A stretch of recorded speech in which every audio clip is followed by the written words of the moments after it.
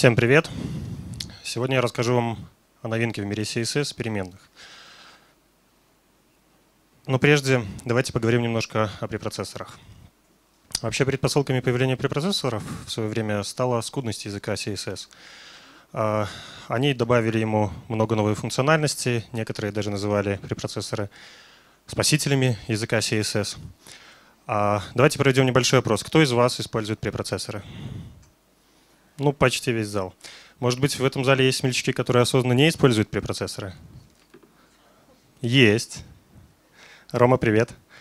А, ну, в любом случае, с подавляющим перевесом победили препроцессоры. А, в целом, а, неудивительно, препроцессоры оказали уже сейчас огромное влияние на развитие самого стандарта CSS. А, они сыграли роль, э, похожую на ту роль, которую сыграл для JavaScript CoffeeScript. Сегодня все лучшие из препроцессоров постепенно, все лучшие фичи препроцессоров постепенно перебираются в сам стандарт CSS.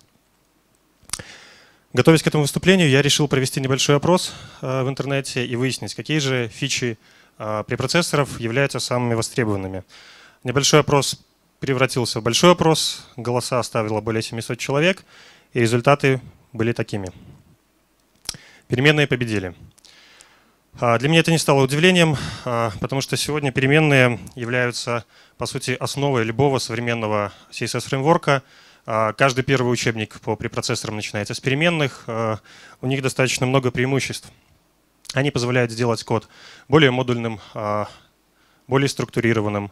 Они позволяют сделать э, его более компактным за счет того, что мы можем хранить повторяющиеся сущности э, в одном экземпляре. Э, они могут сделать более читабельным код. Например, мы можем вместо непонятных, нечитаемых для обычного человека 16-ричных хек значений, мы можем придумать какие-нибудь синонимы красивые, забить значения в переменные и продолжать с удобством читать наш код. Когда же стоит заводить переменные? Ну, есть, наверное, два основных случая. А, первый случай – это когда а, некое значение у нас повторяется более одного раза. Если это так, то, скорее всего, двумя повторениями оно не ограничится, поэтому стоит вынести его в переменную. Второй вариант немножко другой. А, например, возможна ситуация, когда мы знаем, что в будущем есть шанс, что некое значение будет меняться. А, это тоже хороший э, повод для того, чтобы вынести значение в переменную. Ну а если эти два условия выполнены, и ваше значение подпадает под один из следующих типов, то можете смело вносить значение в переменную. А, как и в любом деле, нужно подходить к нему без фанатизма, нужно соблюдать баланс между абстрактностью вашего кода и читабельностью. А, переменные проделали долгий путь, прежде чем попали в наши браузеры. А, после первой реализации 8 лет назад а, в браузере Safari переменные лишь в 2016 году массово начали внедряться в популярные браузеры. Автором текущей спецификации CSS переменных является Табаткинс. И вот в процессе работы над этим стандартом он уточнил назначение переменных как механизма управления значениями свойств. Э, поэтому стандарт немножко поменял даже свое название CSS Variables на CSS Custom Properties.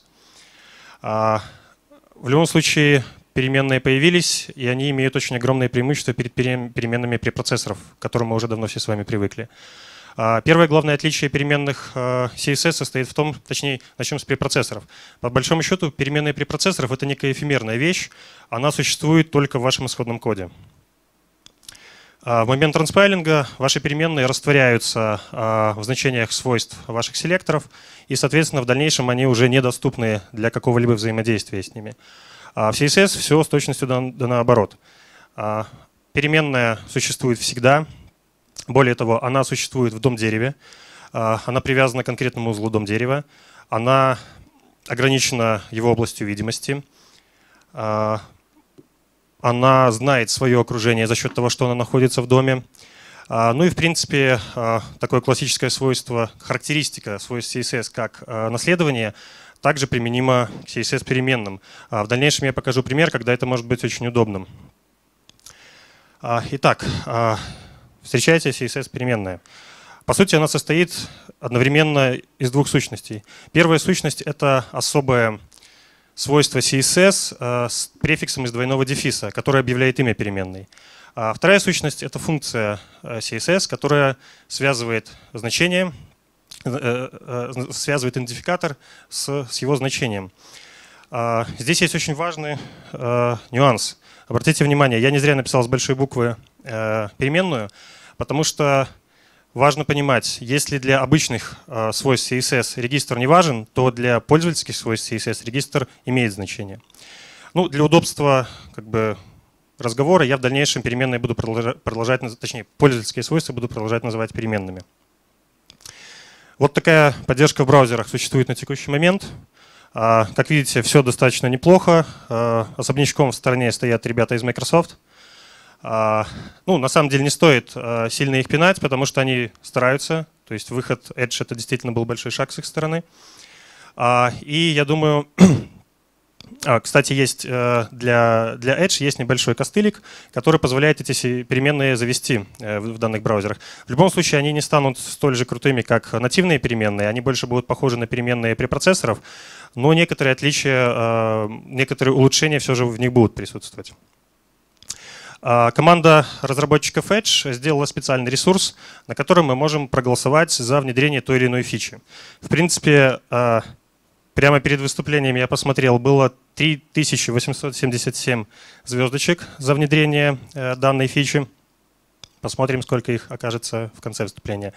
Если кто-то хочет, можем на 10 секунд еще задержаться. Если получится отсканировать, либо вот внизу ссылочка, если она видна там на последних рядах.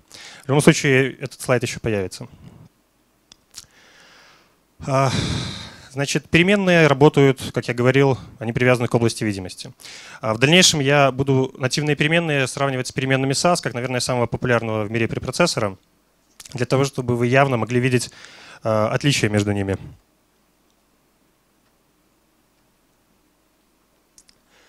Смотрите, в SAS любая переменная, объявленная вне селектора, является глобальной.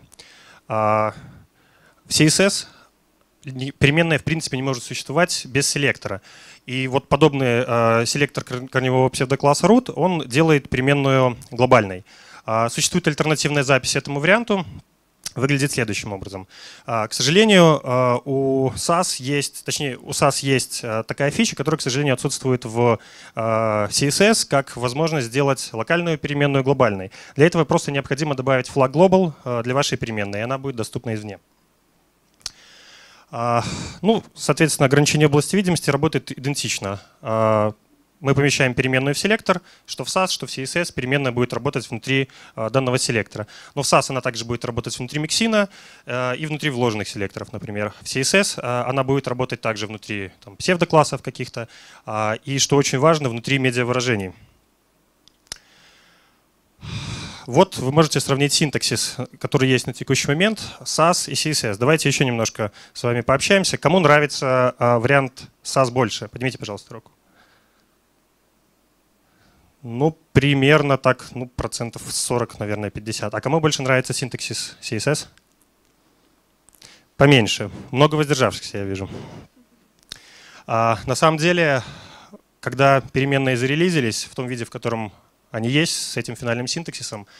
А, это вызвало бурю негодования у сообщества. Многие называли синтаксис избыточным, страшным, неудобным. А, автор спецификации Табаткинс попытался пояснить, что если бы мы попробовали использовать привычный, привычный нам уже синтаксис по препроцессорам, то э, мы могли э, себя лишить возможности придумать некие новые фичи, связанные с переменными в будущем. Э, я потом немножко расскажу. Он продолжает работать над развитием этого стандарта и сопутствующих стандартов.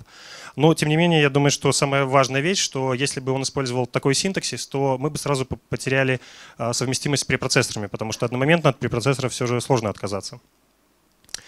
Значит, а, ну, а раз нужно было придумать что-то альтернативное, рабочая группа CSS очень долго работала, спорила, и фактически тот синтаксис, который появился, он появился буквально в самой последней редакции, а, и а, он наилучшим образом, по мнению рабочей группы по разработке данного стандарта, отвечает грамматике и пунктуации CSS. Перейдем к такой более практической части для того, чтобы вы могли увидеть всю силу, всю мощь нативных переменных в сравнении с переменными э, препроцессоров. Э, давайте представим, представим ситуацию, когда нам необходимо как можно быстрее начать отображать страницу. Препятствием для этого у нас в первую очередь будет большой CSS-файл, который, вызываясь через TagLink в хеде документа, блокирует рендеринг страницы. Ну, это такой общепринятый подход, который заложил еще дедушка Зельдман в своей, в своей нетленке веб-стандарты. Чем меньше обращений к серверу, тем лучше, как бы, да, было когда-то. Но это мешает в решении нашей задачи. Вариант мы выносим в главный стиль какие-то основные правила, возможно, сетка страницы, возможно, какой-то первый блок, например, шапка – и для каждого отдельного блока мы грузим отдельный файл стилей. А, но важный момент, нам нужно это делать асинхронно. Для того, чтобы происходила асинхронная загрузка, нам необходимо инициализировать загрузку стилей тегом link а, с помощью JavaScript. В такой ситуации они начнут грузиться асинхронно и не будут блокировать дальнейший рендеринг страницы. А, команда Chrome вообще работает над еще одним вариантом. Они хотят продавить легальность использования тега link внутри боди. То есть когда мы будем отдавать стили непосредственно вместе со самой, самой структурой этих стилей. А, но есть еще очень важный момент. Мы хотели бы, чтобы вот когда у нас стили начнут подгружаться поблочно, а, а страница уже отрендерилась. А, мы, может возникнуть некрасивая ситуация, когда у нас блоки начнут включаться, такие вспышки будут происходить, и это может как бы не очень красиво быть, не очень приятно для пользователя.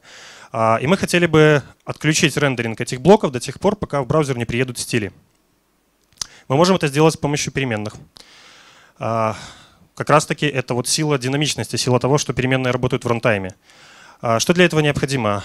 Джек Арчибальд, участник команды DevRel Team э, браузера Chrome, э, предложил отличный элегантный вариант. Я покажу его такой более упрощенный, э, упрощенную версию.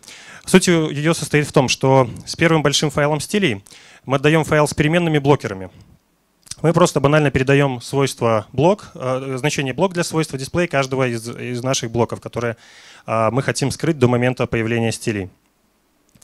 Значит, а, в каждом из э, файлов э, для каждого блока э, мы будем передавать такой d-блокер, то есть та же самая переменная, но с измененным значением как раз на возможность отображения блока. Соответственно, когда стиль приезжает для конкретного блока у нас в страницу, он меняет значение переменной, а за счет каскада компонент, он возьмет первое ближайшее в каскаде значение и блок у нас отрендерится. Вот такой вот очень простой, но очень эффективный способ а, управлять а, отображением блоков на странице а, с помощью переменных. Самое интересное, что мы можем выстроить целую цепочку древовидную и управлять даже порядком отображения блоков, когда один блок не сможет появиться раньше другого блока. Но это был бы слишком большой листинг, поэтому я здесь не буду подробно на этом останавливаться. Большая проблема у переменных препроцессоров с медиавыражениями. Давайте мы сначала посмотрим, что бы мы хотели сделать с нативными переменными, что мы уже сейчас имеем возможность. А, например, представьте, у нас есть э, некий интерфейс, в котором есть колонки, у них есть э, э, отступы между ними. И мы хотели бы при достаточно больших значениях разрешения монитора удваивать значение вот этих вот отступов. Для этого мы переносим значение отступов по умолчанию в переменную и вызываем в нужных блоках. Через медиазапрос мы указываем, что при минимальном разрешении там, вот 1200 в данном случае мы хотим удваивать эти значения. Браузер, если бы у нас не было переменных, видел бы этот код примерно вот таким вот образом. У нас есть два значения, при разных условиях они применяются. Попробуем переписать этот пример в синтаксисе SAS. Все очень похоже. Смотрим, что увидит браузер. Браузер увидит только один вариант стилей. А блок с медиа выражением, тут у меня поехал немножко, а блок с медиа выражением а, оказывается попросту отброшенным. Почему так происходит? Потому что на этапе рендеринга, на этапе транспайлинга SAS-кода в CSS-код парсер, по сути, он ничего не знает о дом-дереве, он не знает, что некий элемент, который принимает значение этой переменной, должен также изменить свое значение. А, поэтому вот в таком синтаксисе это невозможно. Тем не менее добиться этого с помощью SAS возможно, но вам придется для каждого случая, когда необходимо применить измененное значение, прописывать внутри медиавыражения. Соответственно, ваш, если мы в случае нативного CSS пишем только одно значение переменной измененное, то для э, случая SAS вам придется писать каждую строчку кода, каждый селектор, где это значение должно меняться. Э, наследование переменных — это как одна из таких тоже важных фич э, нативных переменных. Э, она позволяет нам Э, делать фичи, похожие, э, как в случае с медиавыражениями. Э, мы можем, например, заставить кнопку, которая у нас черного цвета, перекрашиваться в белый цвет в случае, если она попадает в блок с черным фоном. А в случае с SAS мы тоже этого сделать не сможем. По одной простой причине, потому что SAS не работает в рантайме. Он не знает, где может оказаться блок, который использует эту переменную. Собственно, вот так увидит браузер э, наш э, код, как если бы у нас не было переменных. Ну, многие из вас могут подумать, что у нас столько лет э, ребята из Яндекса и да и вообще именитые разработчики э, отучали от каскада. Почему же мы говорим, почему же я сейчас говорю о том, что это классная фича в э, нативных переменных? Смотрите. Э, значит, давайте рассмотрим два варианта. Вот это плохой каскад. Это тот каскад, который мы могли все раньше использовать. А, он плох тем, что он как бы изменяет детали реализации закрытого компонента. А это нарушает вот такой общеизвестный принцип открытости и закрытости э, программной сущности. Вот это вариант переписан с помощью нативных переменных, а, и в нем есть тонкое, но важное отличие. Во-первых, обратите внимание, вот здесь вот у меня указан fallback. Чуть попозже я расскажу подробнее про fallback. Так вот этот компонент а, как бы говорит о том, что а, я никак не сцеплен а, со своим контекстом, я знаю, как я хочу выглядеть, и я буду в данном случае отображаться черным цветом. А, а вот, собственно говоря,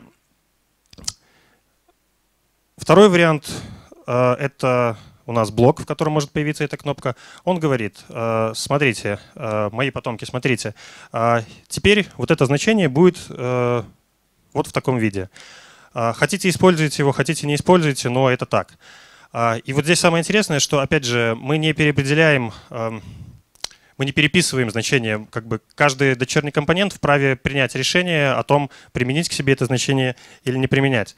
На самом деле Э, подобный подход, насколько мне известно, он э, похож на э, подход таких, таких штук, как props в React.js, а, и он известен как такая архитектурная модель однонаправленного потока данных.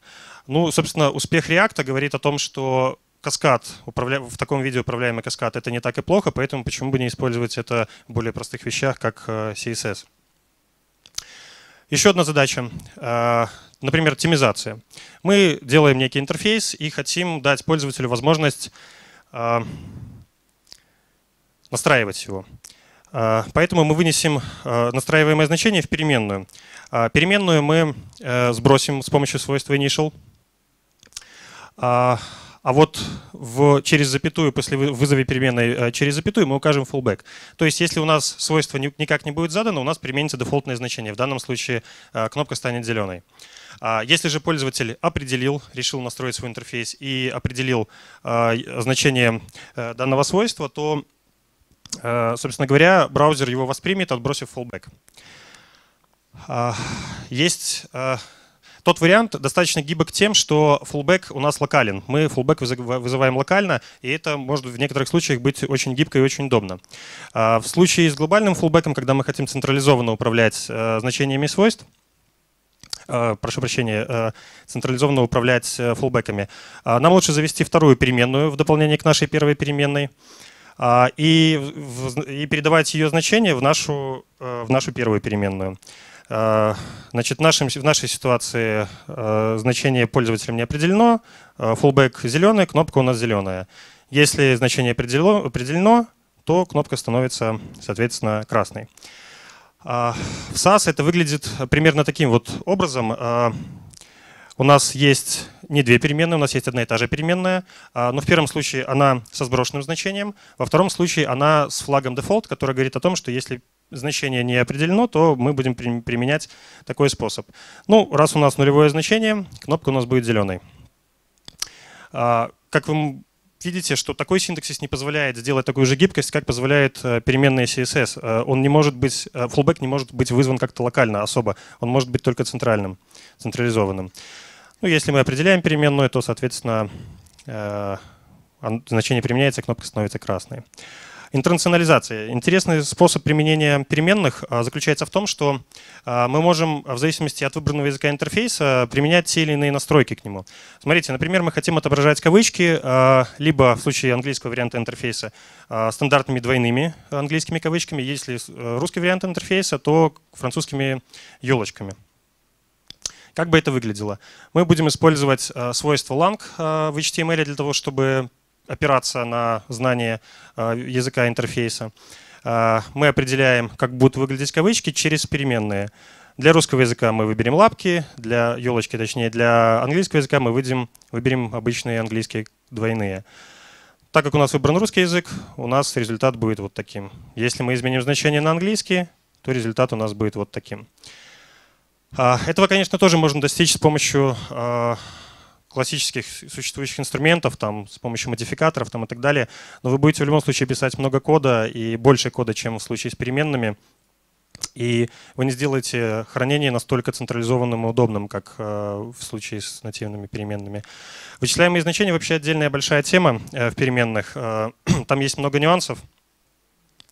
Я покажу очень простой пример. Он состоит в следующем. Смотрите, мы хотели бы, чтобы отступ, нижний отступ э, абзаца текста зависел от высоты строки э, самого текста. Высоту строки мы можем задать без, э, собственно говоря, без единицы измерения. А в случае с марджином это не будет работать. А, нам необходимо удать, задать конкретную, конкретную единицу измерения. А, так вот, такая конструкция работать не будет. Мы не можем просто подставить в конце функции единицу измерения в надежде, что оно заработает. А для того, чтобы заставить такую конструкцию работать, нам необходимо воспользоваться функцией calc. Выглядит это будет следующим образом. Мы просто берем значение переменной, умножаем ее на единицу плюс э, нужная нам единица измерения. И тогда на выходе мы, собственно говоря, получим отступ нужного размера с нужной единицей измерения. Э, я уже касался немножко того, что переменные доступны из SVG. Э, например, Самый простой пример, который влез на слайд, это представим, что в данном случае мы рисуем круг, но представим, что это некая векторная иконка, которая тоже должна зависеть от а, выбранных пользователем настроек. Как мы перекрашивали кнопки, так мы хотим, чтобы перекрашивались и иконки. А, что нам для этого необходимо? Нам необходимо заменить конкретное указание свойства на переменную. И, соответственно, если переменная не определена, а, кнопка будет зеленой. Но если в данном случае мы определили значение как красное, то... Э, ох, здесь аж опечатка. Здесь должна быть, естественно, переменная вызвана э, в левой части листинга кода. То иконка наша примет, собственно говоря, красный цвет. JavaScript. Э, JavaScript э, и SAS дружат не сильно. Есть какие-то вообще дикие способы с помощью медиавыражений и каких-то какого-то псевдо-JSON взаимодействовать э, с переменными в SAS. Э, мы не хотим больше этим заниматься, мы хотим простой, удобный способ. Э, авторы спецификации изначально предлагали вот такой вот способ, который имел четыре основных оператора. Мы могли получить переменную, прочитать значение переменной, установить значение и удалить переменную. К сожалению, это было удалено из финальной версии спецификации с оговоркой, что мы ищем какой-то новый, лучший способ расстраиваться не стоит. У нас все равно остался способ взаимодействия с переменными CSS. Как я говорил в начале, переменные CSS — это всего лишь кастомные свойства CSS. А, поэтому мы можем обращаться к ним через стандартный интерфейс Style Declaration и работать как с обычными свойствами CSS, переопределяя их, читая, удаляя и так далее. Мы можем даже делать вот так. Мы можем э, вызывать э, внутри одной переменной другую переменную с помощью JavaScript. А, если вы хотите писать уже сейчас э, код, продакшн код с использованием нативных переменных, в силу того, что не для всех браузеров пока существует поддержка, вам стоит делать проверку и ну, фоллбэчить что-то для браузеров, которые не поддерживают переменные. Первый простой способ — это стандартный атрибут support CSS, который отлично работает, проверяет наличие поддержки, либо ее отсутствие. Но здесь тоже есть нюанс, что там до определенной версии Explorer, я уже не помню, честно говоря, какой, эта штука не работает. Мы можем проверить это с помощью JavaScript. Тоже с помощью стандартного интерфейса CSS Supports а, мы совершенно спокойно проверяем, есть поддержка переменных, нет, и пишем в дальнейшем код так, как нам необходимо э, с этим знанием. А переменные в текущем виде, они еще достаточно молодые, они имеют ряд ограничений, каких-то багов, а, поэтому, пытаясь их использовать сейчас, стоит о них знать. Первая проблема, что во-первых, надо понимать, что нельзя использовать вызов переменной а, в значении свойств. Вот это вот вообще не работающая конструкция. А, второе, а, мы не можем в значение медиазапроса засунуть вызов переменной. Есть отдельная спецификация, как я говорил, Tabatkins продолжает работать над рядом сопутствующих спецификаций. Вот есть отдельная спецификация, которая сделает такую опцию возможной. Пока, же, пока что это невозможно. К сожалению, нельзя использовать переменные в в ссылках. Это было бы удобно, потому что порой ссылки там, в больших проектах э, могут быть длинными, может быть какая-то большая вложенность наших ресурсов, которые мы хотим подгружать, но, но это не работает. А, как я говорил, кальк предоставляет, э, функция кальк э, предоставляет очень большие возможности, но там есть баги, пока на текущий момент. Баги, в принципе, есть во, всех, во многих браузерах со слишком сложными вычислениями по ссылочке, там очень большой код, я его не стал сюда выносить вы потом в презентации можете посмотреть. А, есть вариант вычисляемых значений, который не работает с переменными, слишком сложно пока для браузеров. А, в Chrome будьте осторожны с умножением делением дробных значений. А в Firefox будьте осторожны с использованием а, переменных внутри э, цветовых функций, в частности RGBA. Ну и пока, к сожалению, э, нет способа внутри определенного скопа сделать сброс всех переменных. Вот такой вот вариант э, сейчас на обсуждении э, у рабочей группы, но пока этого сделать нельзя. Вот, кстати, это который, которому мы должны быть благодарны за эти, за эти возможности. Так вот, у меня сложилось впечатление, что Табаткинс поставил целью своей жизни прибить препроцессоры. Он сейчас работает над спецификациями вложенных селекторах, над спецификацией э, нативных миксинов CSS и над спецификацией э, операторов CSS. А, я хотел бы вам рассказать про нативные миксины по той простой причине, что их сейчас уже можно попробовать использовать. Это, на мой взгляд, удивительно. Я помню, я помню IE 5.5, я помню седьмую оперу, и я помню, как долго внедрялись новые фичи. Я помню, как долго мы ждали тот же Border Radius. Это было просто невозможно. Так вот, внедрение нативного миксина, он пока выглядит попроще, чем миксины в SASE, а, но оно произошло всего через полгода после появления черновика. Спасибо ребятам из Chrome, что они позволяют нам сейчас поиграть с этой штукой. Собственно, миксин применяется с помощью свойства apply. Выглядит это следующим образом. А, опять же, мы должны определить скоп, в котором этот миксин должен работать. В данном случае это глобальный скоп. А, синтаксис очень похож на синтаксис э, переменных. А, мы определяем миксин а, с помощью двойного дефиса, а внутри мы можем определить уже набор стилей, которые нам необходимы. Не просто значение одно, а свойство и плюс а, его значение, и не одно. Браузер нам сгенерил бы примерно... А, применение происходит вот таким вот образом. Мы используем директиву apply и вызываем имя э, нашего миксина. А, вообще, миксины, как бы, будьте осторожны с миксинами, а, не стоит слишком абстрагировать код, а, лучше их использовать в таких случаях, как какие-то стандартные штуки, там, типа очистка потока, какой-нибудь треугольничек CSS нарисовать и так далее. Могу сказать из опыта, что, например, наши бэкэнд-разработчики очень сильно ругаются на слишком сложные миксины от наших фронтендеров. Ну, браузер, собственно говоря, у нас увидит примерно вот таким вот образом эту фичу. А, эта фича пока скрыта за флагом, за вот теперь общепринятым способом а, проверки реализации экспериментальных фич. По ссылке можно перейти и включить эту фичу, если вы откроете ее в браузере Chrome. Вот, вот такие пока предлагаются миксины, это в очень упрощенном виде. А, еще есть такая штука, которую, про, которую я хотел бы рассказать в рамках данного рассказа. Это кастомный селектор. Смотрите, э, у нас есть вот такой вот код, э, достаточно большой, не сильно информативный. Нам бы хотелось как-нибудь его сократить. А, как я говорил, про, говоря про ограничения переменных, я упоминал то, что мы не можем переменную засунуть а, в название, как бы, да. Но для этого мы можем воспользоваться кастомным селектором. Смотрите, как это выглядит. Мы, мы объявляем кастомный селектор. И обратите внимание на синтаксис. Вот обязательно прям так надо писать. Пока это, на мой взгляд, немножко вырвиглазно, но тем не менее. Обязательно должен быть пробел, двоеточие, двойной дефис и потом название вот этого кастомного селектора.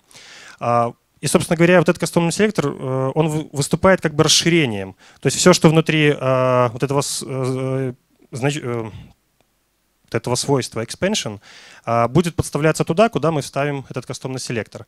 Например, мы хотим сократить запись слева до вот такого состояния с помощью кастомного селектора. Это, на мой взгляд, будет гораздо удобнее, но здесь, опять же, нужно соблюдать баланс между читабельностью и между абстрагированием. Э, эта штука пока не, пока не работает э, в браузерах тоже, но ее можно уже использовать, например, используя там костылик э, из PostCSS. Подытоживая, что я хочу сказать. Переменные, наверное, самое главное преимущество нативных переменных — это работа в рантайме.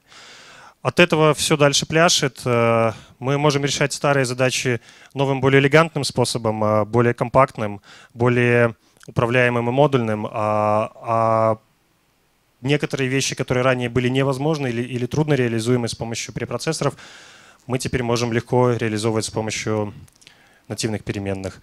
А, наследование — это вообще отдельная тема. Я показал только очень один маленький пример.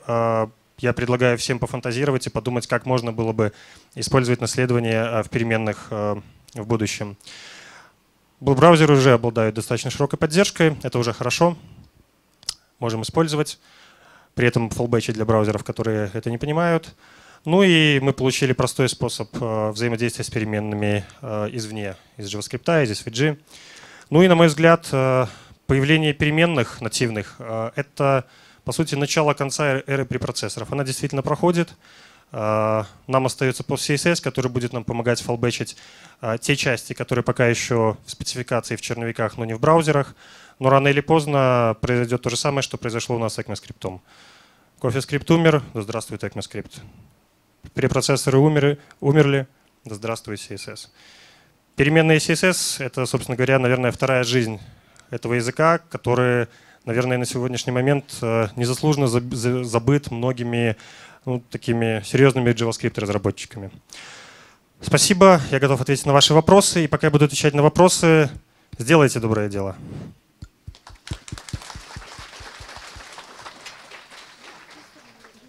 Так, вопросы, окей.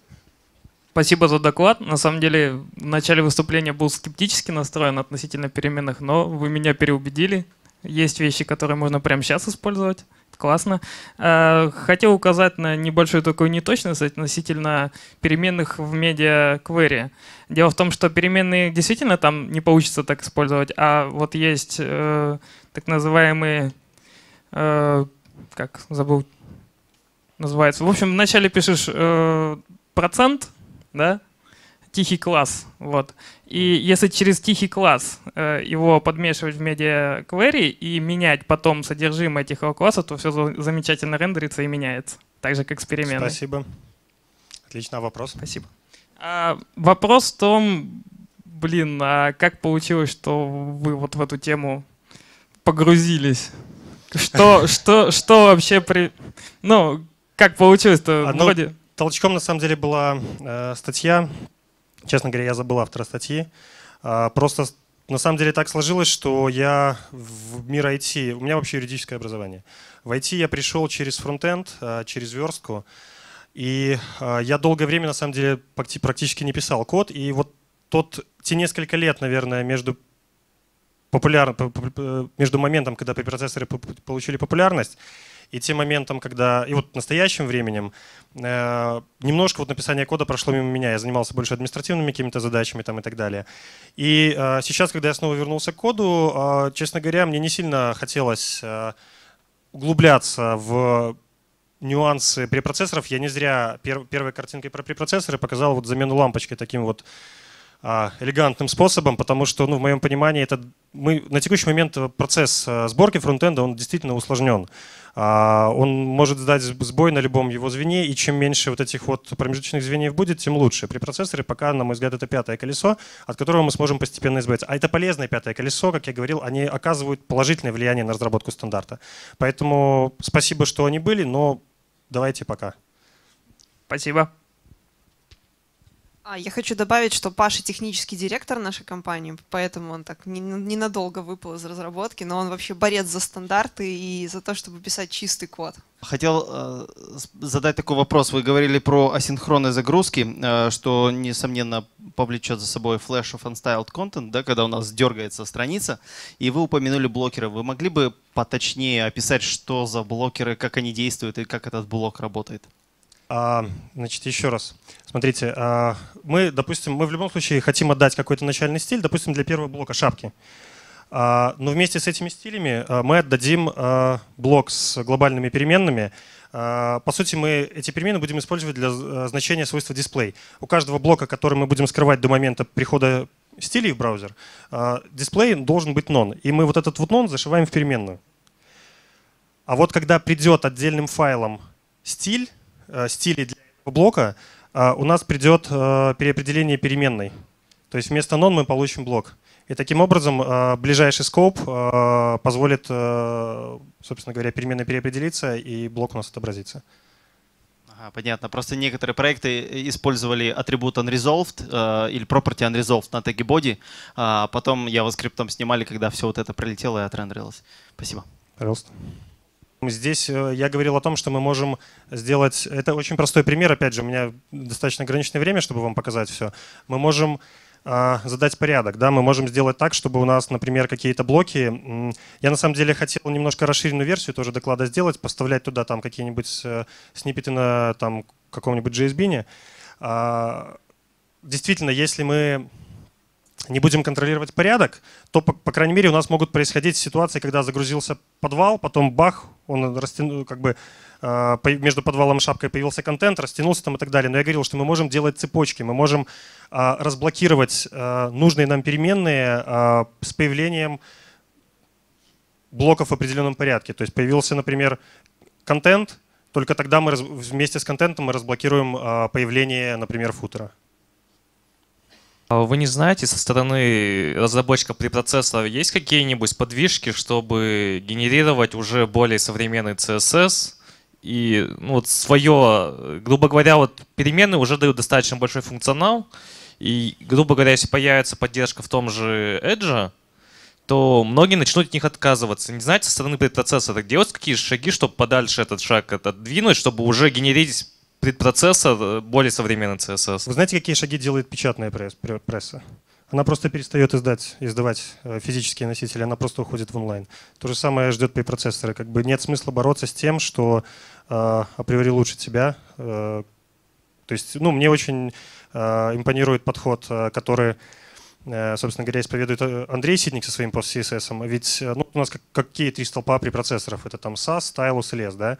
А, так вот, автор стайлуса Ти-Джей Головайчук, он же сделал такой предшественник PostCSS, Rework, э, значит, который исповедовал не монолитность препроцессоров, а модульность. Вот, кстати, невозможность из препроцессора вытащить, отключить рендеринг, например, нативных переменных и не позволил, например, нам э, перенести, ну, а, а, это одна из причин, как я называл, не позволил разработчикам стандарта перенести э, уже имеющийся синтаксис внутрь CSS, потому что нужно было сохранить совместимость. А в случае с э, такими штуками, как PostCSS, мы просто можем фалбечить отдельные вещи при процессорах, пока они не появятся в, в самих браузерах. Ну просто же смотрите, э, сейчас э, мы, грубо говоря, в такой ситуации, что у нас и у постпроцессоров, и у нативных перемен есть свои плюсы, есть свои минусы. Какой-то гибрид временный, ну, Возможно, самом... помог бы расширить нам функционал. Мы ну, могли бы самом... использовать, допустим, более удобную, ну как более привычную вот эту уже всю структуру, чуть больше функционал, но при этом уже использовать и все плюсы современного CSS. А, ну, на самом деле, есть э, замечательные статьи. Если вы погуглите э, CSS Variables э, или там Custom Properties, вы найдете пару отличных статей от поляка. Павел, к сожалению, фамилию не помню. И вот одного русскоязычного разработчика, который, тем не менее, пишет на английском, э, Сергей Господарец, отличные статьи, у него есть отличная статья о возможности совместного использования CSS-переменных и нативных переменных, пока, например, мы не будем готовы к полному переходу. Поэтому это возможно, но, опять же, в рамках этого доклада я решил не раскрывать эту тему. Хорошо, спасибо.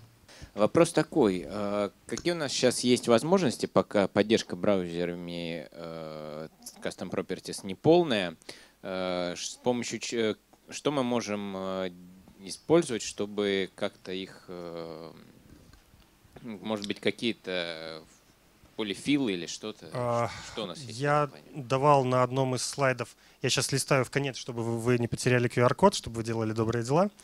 А, Там на слайде, на котором я а, показывал скриншот из а, Canayusa ресурса, а, там есть ссылочка на PostCSS плагин, который а, воспринимает синтаксис нативных переменных и транспирит их. Ну, то есть он делает то же самое, что делает по большому счету э, препроцессоры.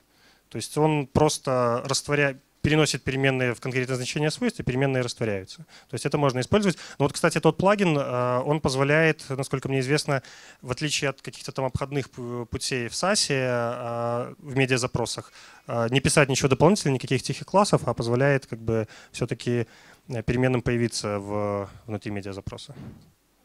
Получается, мы все-таки теряем наследование, какие-то вещи типа обращения. Безусловно, мы в любом случае, это, это лишь fallback, а, мы, мы просто не даем а, возможности не отобразиться чему-то. Да? Пусть оно не будет в рантайме динамично, придется фалбэчить, если, допустим, мы кастомизируем интерфейс старыми способами, модификацией классами там, и так далее.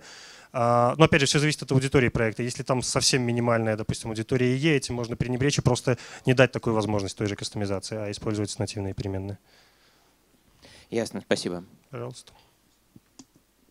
Вопрос еще? М, Окей, тогда спасибо, Паша, за доклад.